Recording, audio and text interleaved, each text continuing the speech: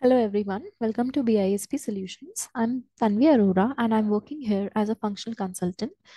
So in today's video, we are going to see the consolidation case with CTA, that is my currency translation account and with non-controlling interest, that is my minority interest with the effect of historical override. So let's just go to the Excel sheet that I have prepared.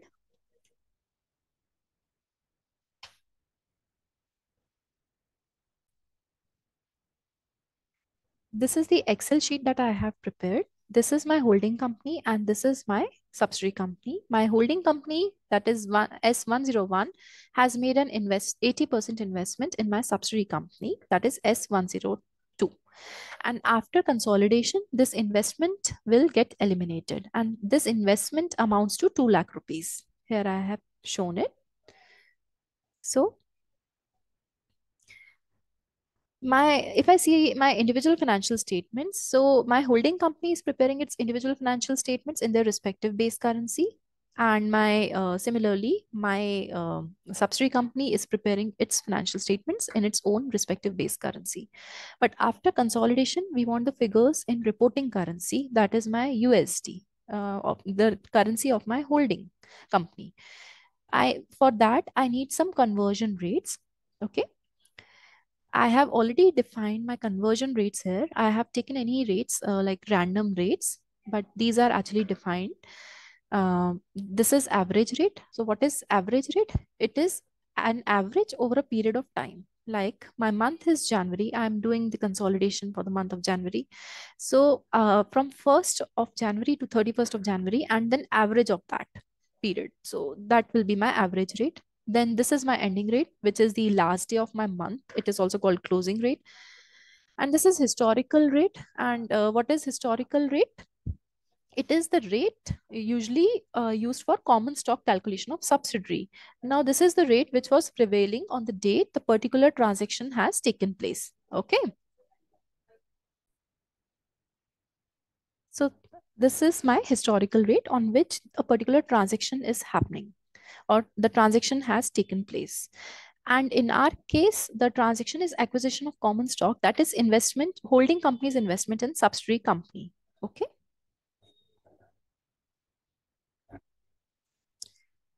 Um, the assets and the liability items as per IAS 21 are always converted uh, using the ending rate. The PNL items are always converted using the average rate.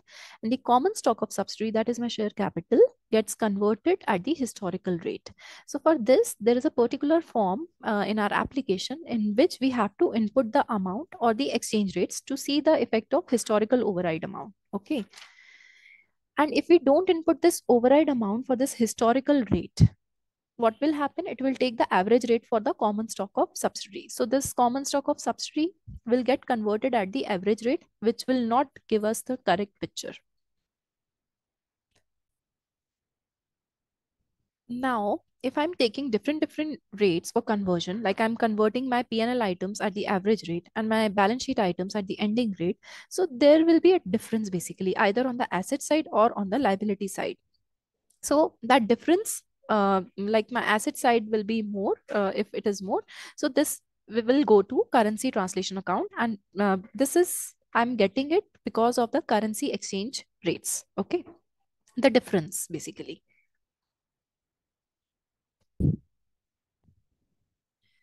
So uh, to tally my balance sheet, the difference, uh, the liability side was bigger and the asset side was smaller. So I've just put it as minus 7400. This was the difference. And uh, this is called currency translation account. This difference will go here. Now, if we say about the goodwill calculation, what is my uh, goodwill? It is the in total investment made by holding in the subsidiary. So my investment is 2 lakh rupees and I have to deduct the uh, net assets of the subsidiary basically. So which comes to 1 lakh 50,000. Now how it is coming?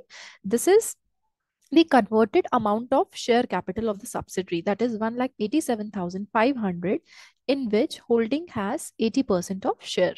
Okay, so I have done that uh, like 1 lakh 87,500 into 80%, which comes to 1 lakh 50,000 and my goodwill will come to 50,000, which we'll verify later from the output sheet.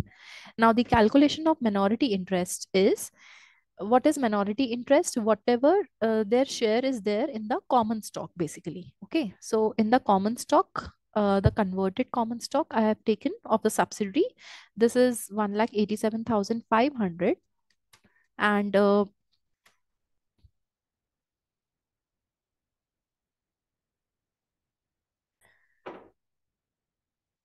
so this is uh, the uh, 1 lakh 87,500 in which minority people have 20% interest. So uh, they have 20% of share basically and which comes to 37,500 and also they have share in the retained earnings or the profit basically. So these are my retained earnings and the converted retained earnings are 5900 in which they have 20% share and which comes to total as 38,680 now I have to calculate uh, separately the calculation of the retained earnings also. So how this is coming? Basically, after consolidation, the retained earnings of the holding will get combined with the retained earnings of the subsidiary. So the uh, retained earnings of the holding is 20,000, which I have picked from here. And in the converted uh, share, like this 5900, they have 80% uh, of share the holding persons. So the total retained earning will amount to 24,720. Okay. And whatever investment they have made will ultimately get eliminated. Okay. So we'll see uh, this uh, calculation of CTA, what we have done, whether it, uh, we are verifying this from our uh, after running the consolidation rule. So the next step is to go to the application and uh, we will define the currency exchange rates in the data form, also the override amounts and then we will define our ownership structure and then run the business rule of consolidation. So this is the home. This is the home page of my application. So first of all, I will define my correct ownership structure. Under application, I will go to consolidation. And I will uh, select my correct POV. I'll define it. So my entity is total S100 then my scenario I've taken it as plan only, year is fine, period is January. Okay. Here I have to click on this run button. Then uh, see, South 101 is my holding company, uh, which has 100% ownership. And South 102 is my subsidiary company. So I've defined 80% here and this I have defined it as subsidiary. So you can see that uh, the application has automatically calculated the minority part. Okay. After defining this, we just have to save the changes. And then after this, we'll recompute the ownership data. From actions, I will click on recompute ownership data. So my POV is correct here. I'll just recompute it.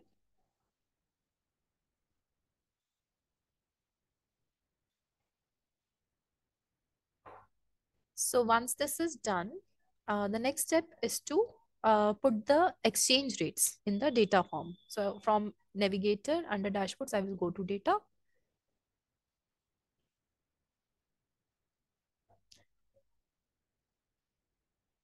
So under this data, we have different different forms basically. For inputting the exchange rates, we will use this enter exchange rate single period. Now, as per my Excel sheet, Yeah. So as per my Excel sheet, we know that 1 USD is equal to uh, the average rate I'm talking about is equal to 1.18 Canadian dollars and 1 USD equal to 1.2 Canadian dollars. This is my ending rate. So same I'm going to provide in my application. And uh, for USD, I'm just giving it a direct quotation. So I've already provided one and one here uh, in the USD for average and ending rate. And then I'll just directly go to Canadian currency and provide my average rate and ending rate and save this data form. And uh, also I will check that POV is fine or not. Okay. First of all, this is the prior step basically. This is all fine. This form has been saved. Now again, I have to input the override amounts also. So we will use separate data form for that, which is called override input data form. Okay. Override input data form. So we'll click on this. And first of all, I have to check my uh, POVs, whether my POVs are correctly defined or not. So uh, scenario, I've taken it as plan only. Year is financial year 2015. Entity, I will define it correctly. Okay. So it's in total geography.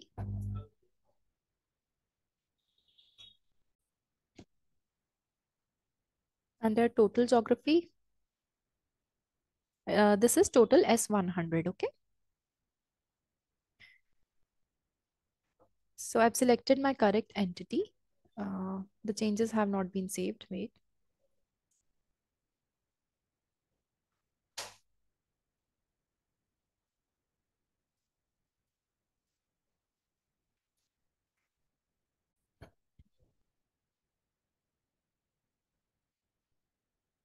So else we can put it in uh, this uh, headquarter only. It covers all the entities. Then uh, I have to change the movement. So movement is uh, changes due to issue of stock.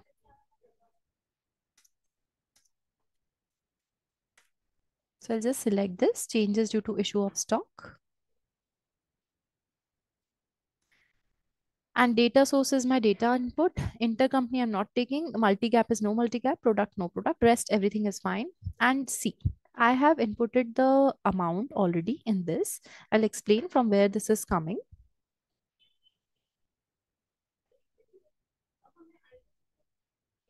So in my Excel sheet, if you can see, yeah, okay. So in my Excel sheet, as you can see uh, that from uh, this, one lakh eighty-seven thousand five hundred. This is at the USD level. This is uh, share capital of subsidiary is getting converted uh, using the override rate and this comes to 1,87,500 which is uh, which is at USD level and this is at my Canadian level. So I'll just input these two amounts respectively in my application. Okay, so at USD level, I have inputted this amount and at the Canadian dollar level, I have inputted 1,50,000 and then I'll just save this. Okay.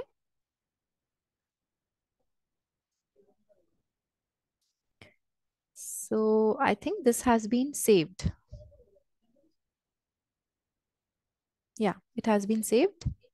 And then uh, the next step is to run the business rule of consolidation. If everything is fine, we have defined everything and let's see the result. Under the rules, we'll click on this consolidate rule and we'll launch this rule.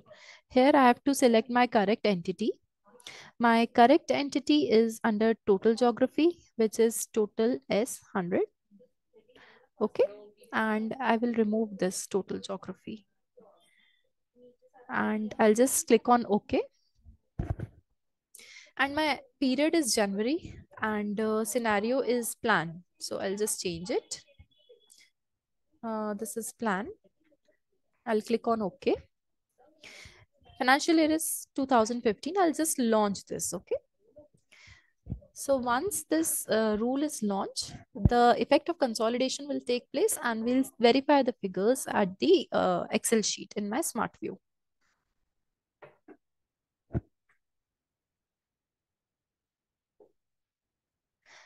So let's go to our Excel sheet and see the results.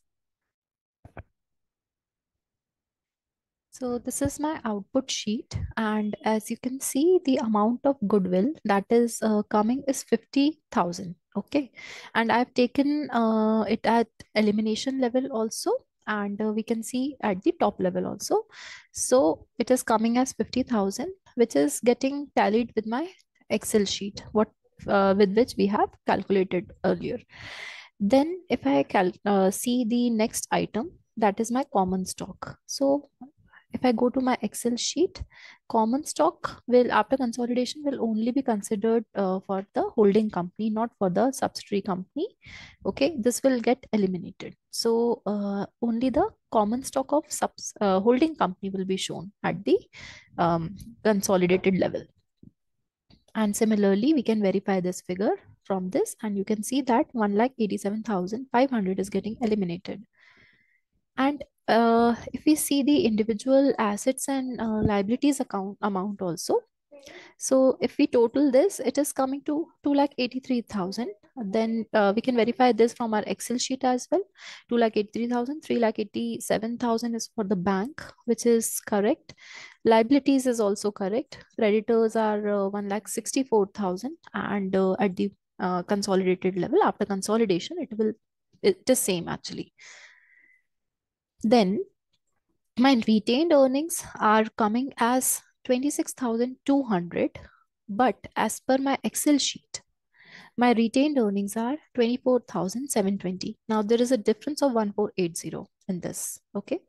So actually my actual, according to my output sheet, it is 26,200, but actual it is 24,720. So why uh, this is uh, like more uh, and uh, I will tell you the other side of this.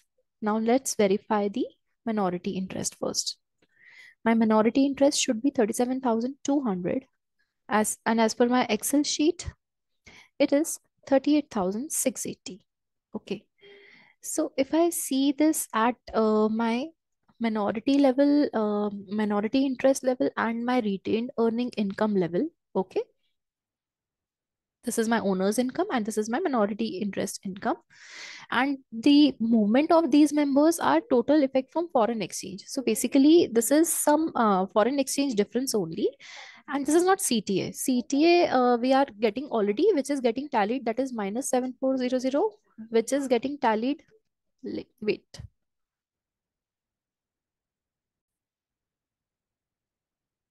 So my CTA, that is minus 7400, is already getting tallied with this amount. We can see that, okay? But here, the difference that is 1480, uh, it is uh, adding up in my retained earning. It is going in my profit. Okay, adding up in my profit.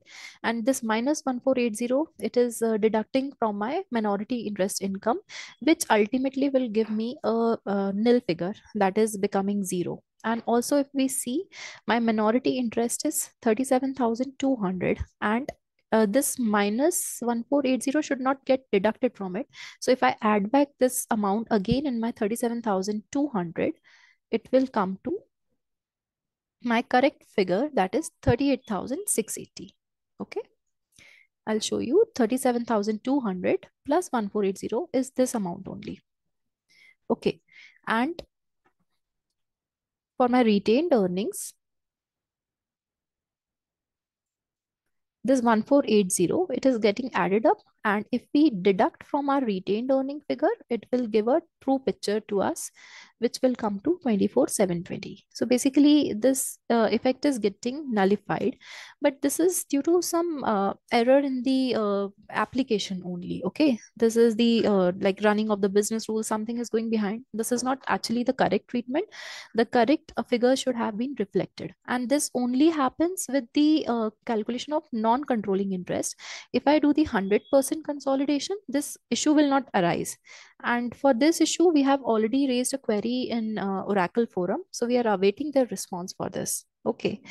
And uh, you can see this, that the uh, investment in subsidiary uh, of 2 lakh, it got nullified. Okay. So um, it got eliminated and the result we got is zero. Okay. So this was the effect of it. And thank you so much.